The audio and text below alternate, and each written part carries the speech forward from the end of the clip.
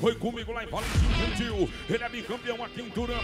O portão é da cama, da cama agora. Abriu, abriu a porteira, marcando no bagulho. Olha, foi embora, vai, vai, vai, vai. Voltou, voltou, voltou, voltou, voltou. Aí leva, voltou pra parar e a Roqueta comeu. Ah!